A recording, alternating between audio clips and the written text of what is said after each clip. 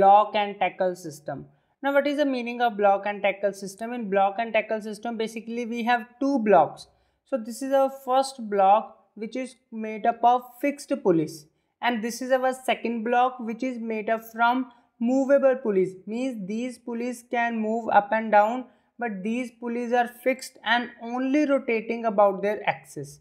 So this is the first block which is having also called upper block. This upper block contain fixed pulleys and this is a lower block. In case of lower block we have movable pulleys. Now if I am talking about if number of pulleys are even and if number of pulleys are odd. For example in one case I have 4 pulleys and in second case I have 5 pulleys. Then how I will arrange? When 4 pulleys are there then two pulleys goes to the upper block and two pulleys goes to a lower block. But if five pulleys are there odd number of pulleys are there then we have to take one more pulley extra in case of a fixed or upper block. So here we will see three pulleys and here we will take only two pulleys. So here we got a five and if four then two and two. So it means that number of pulley used in the movable lower block is either equal to or one less than the upper block. Clear? Now one by one we have to see the pulleys different pulleys arrangement we will see and we will calculate the mechanical advantage and velocity ratio. So first system we have block and tackle for five pulleys and convenient direction. Now what is the meaning of convenient direction? Before that block and tackle for 5 pulleys. So here we have a 5 pulleys. Now we have to draw this pulley in the convenient direction. We have to make a thread or use a thread or a string in such a way that it is forms a convenient direction. Now tell me which is our convenient direction downward or upward. So for a human being convenient direction is downward. So what we will do carefully see from the down we will use this string this massless string we have to attach one by one from one pulley to another pulley okay? And finally attach to a hook. So when number of pulleys are odd or you can say 5 then for a convenient direction the string is attached to a lower hook. Lower hook means it is attached to a lower block hook okay? This you have to remember or you can also draw now we have to see the mechanical advantage and velocity ratio. So here you have to draw the tension in the string. Basically here we will apply the effort okay and this is a load. Now carefully see for one pulley means moving from one pulley to another pulley we have to draw one tension. So from hook to pulley one tension. From one pulley to another pulley one tension we have to draw Again from this pulley to this pulley, one tension we have to draw. From this pulley to this pulley, one more tension we have to draw. From this pulley to last pulley, one more tension. Okay. So these are the tension that we have drawn. And for the effort, tension is applied in the upward direction. So this tension is only for the effort. Now here effort is equals to tension. If you focus only on this part, effort is equals to tension. And now if you will see this block and tackle system load is acting in the downward direction. And how many tensions are acting in the upward direction? Don't see this tension. This is for only effort. So count 1 2 3 4 and 5 so total 5 tensions are acting in the upward direction which is able to handle this load. Okay? So mechanical advantage we have that is load upon effort. Load we have 5 tensions and effort we have tension. So cancel it out. So mechanical advantage in this case we got it as 5 so mechanical advantage of this system is 5 now let's see the velocity ratio. Now this if effort moves a distance of d for example the load moves a distance of d by 5 only. Why because these strings are moving in such a way that only some part of the strings will move. So if some part of string will move five strings are there so load will only move d by 5 so here velocity ratio we have displacement of effort over displacement of load. So this is the effort point here displacement of effort is d. And this is a load point here displacement of load is d by 5 so here we got it as velocity ratio 5 now carefully understand this term. From this only we will understand each and everything that if number of pulleys are 5 and the direction is convenient then we have mechanical advantage and velocity ratio equals to number of pulleys. And what about the efficiency? Efficiency we have mechanical advantage over velocity ratio mechanical advantage 5 velocity ratio 5 so efficiency we got it as 1 which is 100% so here we are not considering any losses. So efficiency of this block and tackle system is 100% now here for 5 number of pulleys for a convenient direction mechanical advantage is 5 and velocity ratio is 5 now we have to see block and tackle system for 4 pulleys. For convenient direction carefully see the string. Convenient direction means we have to start from here. So carefully see the string. The string is moving from one pulley to another pulley. Like this you have to draw. Okay? Now in case of the convenient direction for four pulleys the string is attached to the upper block or upper hook. Clear? Now again if we will see effort here this is a tension for effort. There is one tension from one pulley to another pulley another tension one pulley to another pulley one more tension one pulley to another pulley one more tension okay? So basically we have four tensions handling for one load and one effort is handling one tension. So here mechanical advantage and velocity ratio we have again 4 clear? Now we have to see very important case. Block and tackle system for four pulleys in inconvenient direction. So what is the meaning of inconvenient? Inconvenient means we have to take the direction from this side. Means now we are moving the pulley in the upward direction. We are using an inconvenient direction. So here this string is moving from this point to this point from this point to this point. Like this you have to use a string. After that i will make also. So here you have a block and tackle system for inconvenient direction. Now carefully see.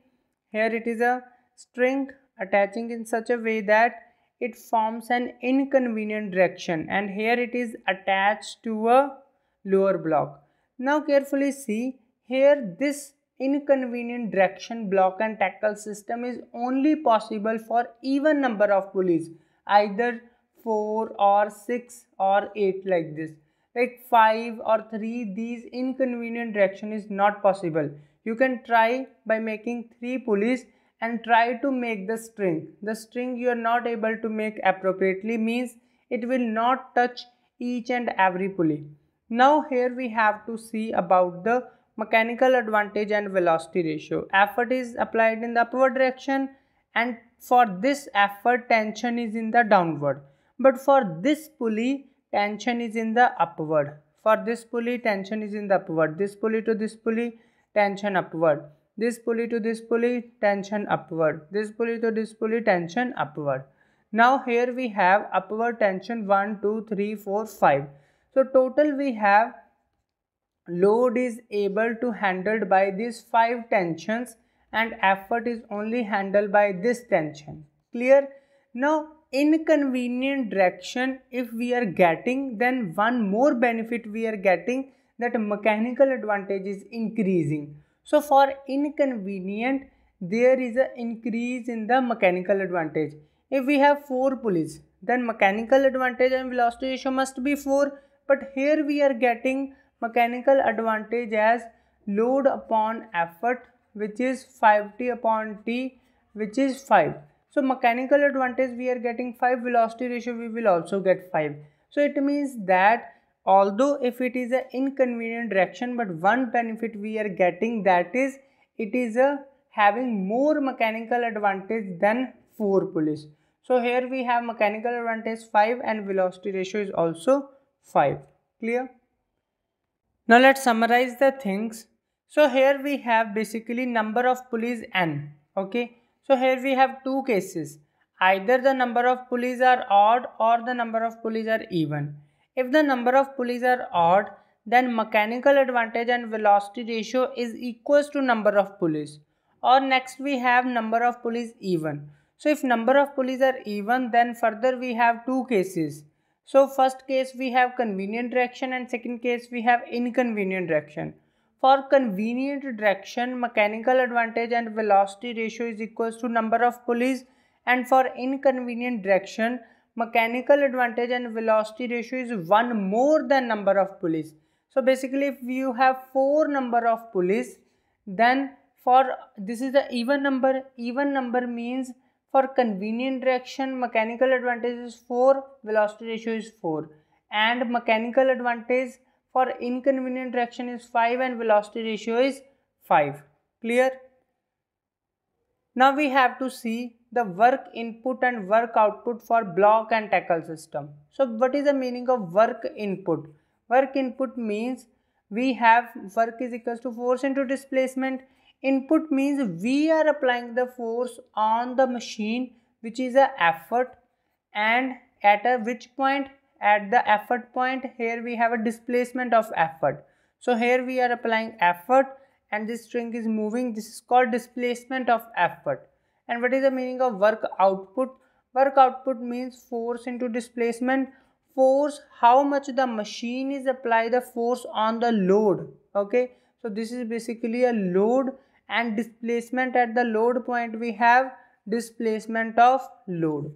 Now we have to make that what is the relationship between work input and work output. First of all see the relationship between load and effort. For example for n number of pulleys this is a 4 pulleys take n number of pulleys. When n number of pulleys are there mechanical advantage is equals to n which is equals to number of pulleys and velocity ratio is also n what is the formula of mechanical advantage mechanical advantage we have load upon effort okay so from here load we got it as n into effort. Put the value of load here as n into effort into displacement of load. Okay. Next we have velocity ratio. Velocity ratio formula we have that is displacement of effort over displacement of load which is equals to n. So from here displacement of effort we got it as n into displacement of load. Put the value of displacement of effort as n into displacement of load. So here it become NEDL. Now carefully see. Work input we got it as n number of pulleys effort into displacement of load. Work output we got it as n into effort into displacement of load it means these quantities are same so these quantities are also same it means that work at the input point is equals to work at the output point. It means it, this show the conservation of energy. Conservation of energy means the energy can neither be created nor be destroyed. It can transfer from one point to another point. It can only transfer from one point to another point. Provided that here we are neglecting the losses frictional losses and other losses we are neglecting. If there is some losses then some part of energy is lost in overcoming that losses. Clear? Now let's see the effect of weight of pulleys on mechanical advantage velocity ratio and efficiency. Now carefully see in the previous derivation we have not considered the effect of the weights of these movable pulleys here we have two types of pulleys, fixed and movable.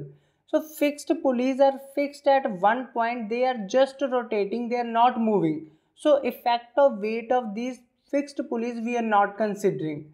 But here movable pulleys are having some weight. So this weight is acting in the downward direction and load is acting in the downward direction. So when you are applying effort at this point, here you are not only making the load or not only taking the load in the upward direction but also taking the effect of weight also taking the weight of the pulley in the upward direction. If these pulleys are very heavy then you have to apply more force in order to raise the load as well as these movable pulleys. So now we will see the effect of the weight of these movable pulleys now if you will see for example the here we have n number of pulleys. So for n number of pulleys n number of tensions are able to take the weight of the pulley and the load. So load and weight is acting in the downward direction and n number of tensions acting in the upward direction. After that in the effort point effort is acting in the downward direction and in the string. For that tension is balancing. So effort is equals to tension. Now carefully see mechanical advantage is equals to load upon effort. Load value we have that is nt minus w and here nt minus w over effort. Now here t is equals to effort so replace this tension with the effort. So here it is replaced okay? So here we got it as now divide separately mechanical advantage formula we got n effort upon effort minus weight of the pulleys upon effort. So here we got mechanical advantage as n minus weight of the pulleys upon effort. So this is the mechanical advantage formula when we are considering the weight. So now mechanical advantage we have n minus weight of pulley upon effort. So what about the velocity ratio? In case of effect of any pulley, the displacement of load and effort will not change. So even though you are taking the effect of pulley, the displacement part will not change. So velocity ratio will not change. Velocity ratio will remain same for n number of pulleys. Velocity ratio we got it as n. Now we have to calculate the efficiency. Efficiency we have mechanical advantage over velocity ratio. Now just divide here mechanical advantage over velocity ratio efficiency n minus w upon e divided by n. Just separately divide it. So here we got it as efficiency that is 1 minus weight of this movable pulleys divided by n number of pulleys into the effort effort which we are applying now if you want to increase the efficiency how you will increase the value of efficiency just by decreasing the weight of the pulley. So in order to increase the efficiency of the pulley you have to take the pulleys as light as possible. Clear? So here we have efficiency is 1 minus weight of this movable pulley over number of pulleys into effort. Now when you want to increase the efficiency for greater efficiency, the pulleys in the lower block should be as light as possible and the friction between them should be minimized. Then only we are able to get a more efficiency for a block and tackle system. Clear?